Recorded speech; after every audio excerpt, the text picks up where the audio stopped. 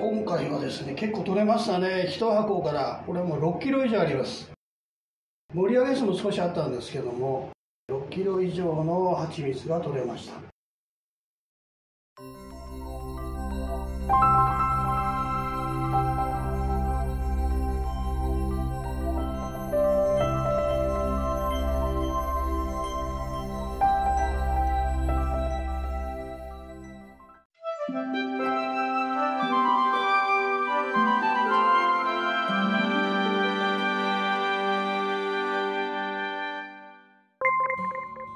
今日は9月の19日です。え北九州でも暑い日がずっと続いてますけれども細密の、まあ、今真っ盛りですね。今日はですね細密の仕方こちらの方でやっている仕方についてお話をしたいと思います。まずはあの細密の時期なんですけれども9月の初めから10月の上旬ぐらいまでですかね。北九州ではニホンミツバチの採蜜の時期になります。どういうふうに採蜜の時期を決めているかというとセイタカワダチソウはミツバチにとってはですね非常に重要なあの蜜源になります。その蜜源なんですけれどもセイタカアダシソウの蜜などの花粉が入るとですね人間にとってはですねあまり美味しくない蜜が出来上がってしまうんですね。なのでセイタカアダシソウが咲く前に採蜜をする。これが採蜜の時期になります。北九州でいうとセイタカアダシソウは10月の中旬ぐらいから咲き出しますので10月の上旬までには採蜜をしてしまうと。ということになります。細密に必要な道具ですね。あんまり必要はないです。一つはこれですね。コテ。もうだいぶこれ使い古してますけれども金属製のしっかりしたコテですね。から包丁。包丁も、まあ、もう少し長くてもいいんですけどもあんまり長くなると使いづらくなりますのでこれパン切り包丁ですね。パンとか氷とかそういうのを切る包丁なんですけども非常に丈夫にできてます。こういうものを使います。からえブロワーですね。ブロワーもこれは焚き火用のブロワーなんですね。焚き火用のブロワーなんですけれどもコンパクトであまり大きいものは必要ないです。あまり大きいものを使用するとですねミツバチ一気に吹っ飛んでしまうんですね。優しく追いやるということで私はこの小型のブロワーを使ってます。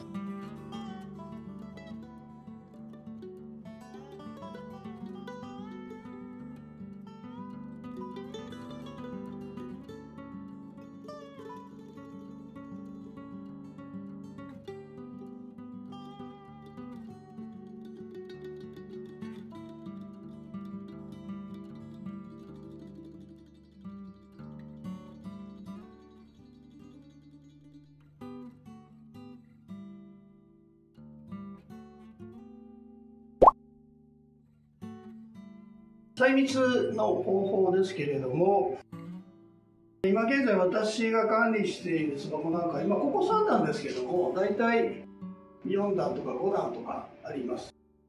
まずは屋根を取ります。でこの巣箱の中ミツバチがたくさんいてまずは蜜が入ってるかどうかですね。その確認です。っと一番上の方からこう叩いてみます。叩いてみてですね鈍い音たくさん蜜が入ってるから鈍い音がします。入ってないところはですね軽い音っていうんですかね。あの本当にあここ何も入ってないなっていうような音がするのでまず叩いてみてですね蜜が入ってるかどうかというのをちょっと確認しています。それから持ち上げます。かなり重たくなってるはずです。蜜がたくさん入ってるとかなり重い。30キロとかですね。40キロとかになるかもしれない持ち上げられないぐらいの重さだったらもう確実に蜜はかなり溜まってるということになりますね。という確認からまずは始めます。この中ですねミツバチたくさんいます、まあ、1万匹以上。いたりもするんですけれども取るのが一番上ですね。蜜液蜜液の部分を取ることになります。なのでこの一番上の箱この中にミツバチがいないような状況にする必要があります、まあ、こういう包丁のね柄の部分ですね。しっかりした柄の部分でちょっと叩いてでミツバチを下に追いやります。細密始めるよということでミツバチを下に追いやっていきます。それから一番上ですね。うちの場合はこれが上がですねすのこになってたりとかするんですけれども一番上の部分は固定をこういう感じで入れてですね切り取ります。まあ多分一番上はミツバチそんなに入ってませんので簡単に取れると思います。はい取っちゃいます。そうすると大体ですね上の部分ってこんな感じです。のこになってます。すのこになっているこの隙間ですね。この隙間からミツバチたちをブロワーです。風と音、それから特命を流すことによって、下に追いやっていくんですね。下にどんどんどんどん追いやっていきます。すると、まあ、早い、場合で、5分ぐらい経つと下からすごくミツバチが出てくるんですね。下からですねたくさんミツバチが出てきたのを確認してから次の作業に入ります。次の作業はこのすのこの部分ですね。すのこの部分、まあ、すのこじゃない場合は天板ですね、この天板の部分をカットしていきます。はい。ここに固定を入れてですね。でやはり包丁。包丁で切ってですね。これあの1人でやるよりは2人で安全のためにもうですね2人でやった方がいいです。こういうふうに切っていきます。で切ってこれ上のすのこの部分であるとか天板の部分を切り取ります。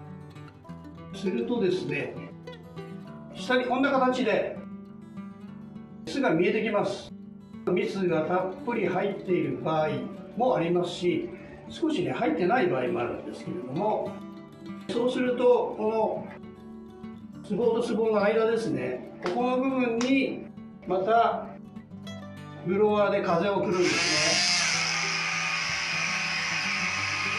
風を送るとさらにこの一番上の巣箱にいたミツバチたち降りていきます。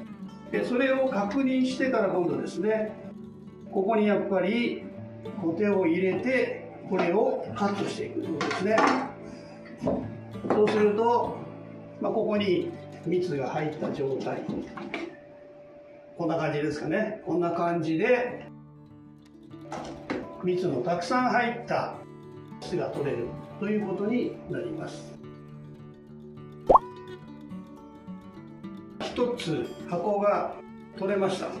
取れたらですね今度まあ素早くですねえ元に戻します、えー、こういうつのこの場合まあ天板の場合どちらでもいいんですけどももともと入ってた位置ですねを確認しながら戻します。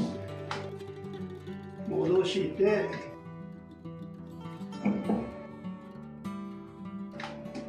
で蓋をして。で屋根を取り付けるっていう。ことですね。終わった後23日してからミツバチの勢いが非常にある場合は継ぎ箱をしてもいいと思います、まあ、基本的に越冬する場合はですねあまり空いている空間は狭くする。要は杉箱はあまりしないようにする。というふうにした方がいいというふうにも言われてますので私の場合はほとんど杉箱はしないです。冬の場合はですね。春花がたくさん咲いた場合に、えー、杉箱をどんどんしていく。冬の細密の後はですねそこから巣はあんまり伸びることもありませんし、まあ、よっぽどミツバチたちの勢いが大きければ別ですけれども基本的には杉箱をせずにそのまま冬越しをするということになります。をですね。取った後ですねあとはですね基本的にこう垂れ蜜でやることが多いんですけどもこういう小型の洗濯機手動式の洗濯機ですね。これで絞るとかなり蜜は取れます。中どういうふうになってるかっていうとですねこれも絞った後なんですけれどもほとんどの巣がですね空になってます。これは表と、まあ、裏っていうふうな表現あるあるかもしれないですけど表と裏ですね。これを逆さま反対方向に向けながらですね回していくんですね。これ手動ですけどね。はい回してみます。もうこれ絞った後なんでねほとんど出てこないんですけれども。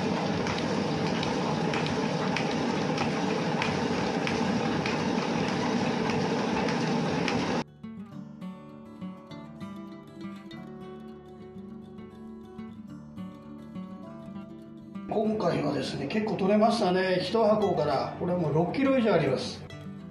盛り上げ数も少しあったんですけども6キロ以上の蜂蜜が取れました。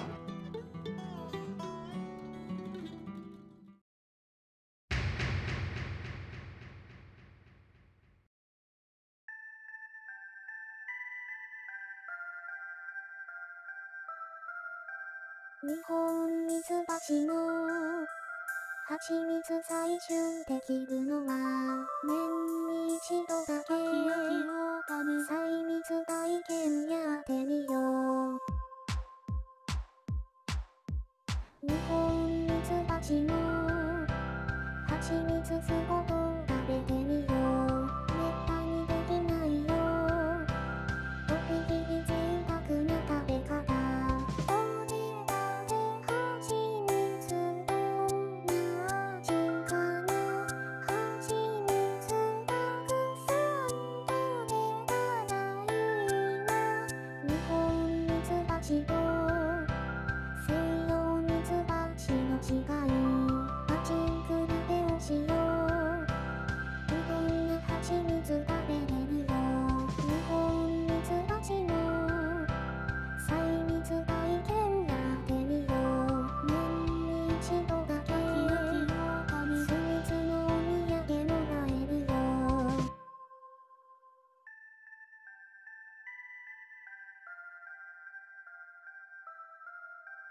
日本ミツバチの蜂蜜採集できるのは年に一度だけ細密体験やってみよう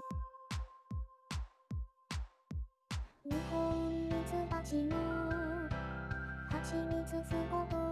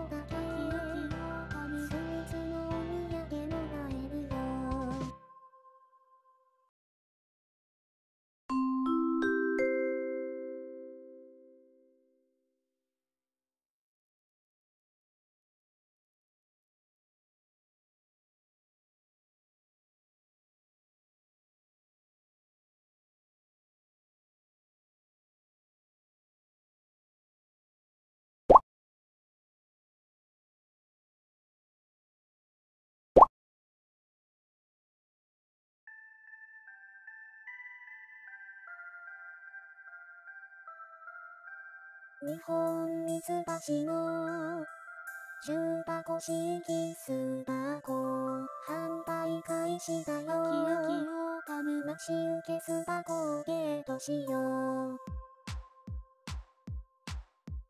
日本ミツバチは古い巣箱が大好き。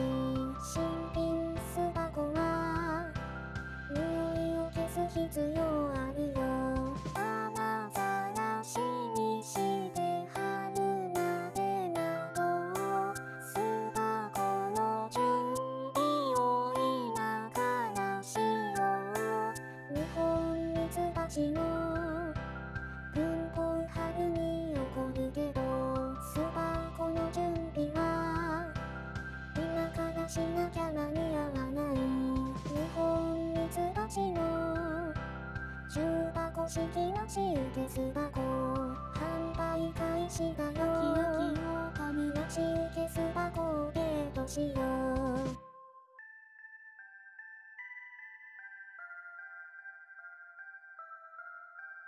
日本ミツバチの重箱式巣箱販売開始だよ。キヨキヨガムマシ受け巣箱をゲートしよう日本ミツバチは古い巣箱が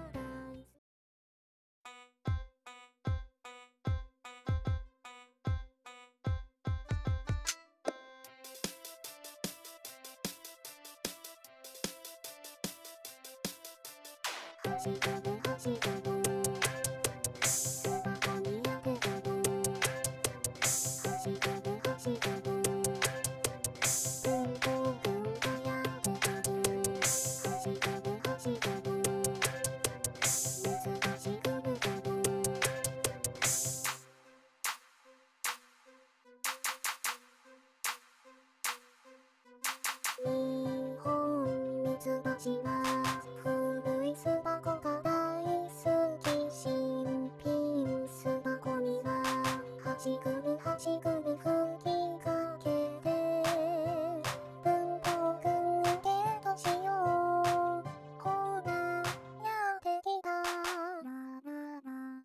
Thank you.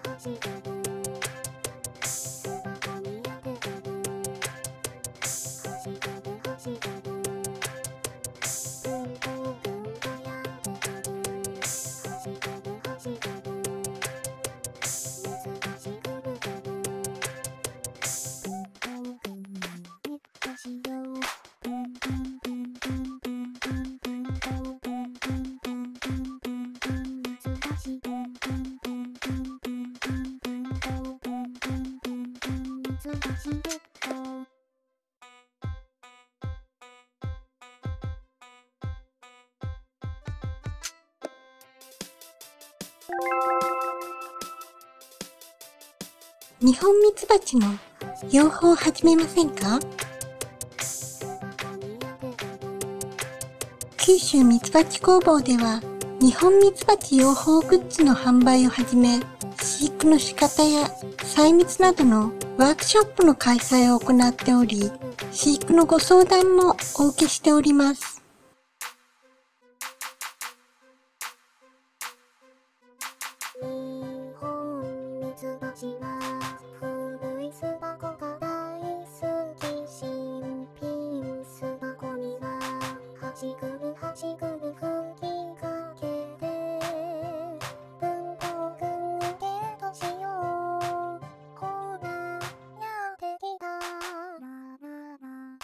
ご